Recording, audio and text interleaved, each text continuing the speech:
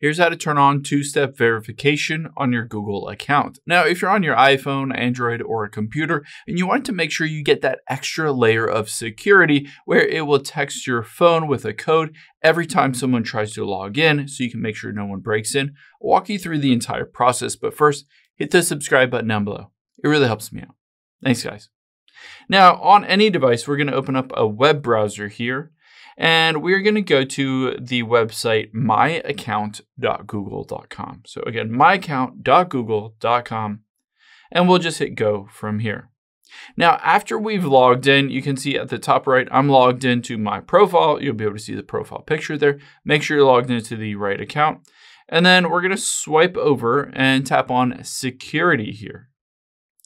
Now, under security, all you need to do is scroll down a little bit and you can see how you sign into Google and two-step verification is turned off. I just need to tap on it.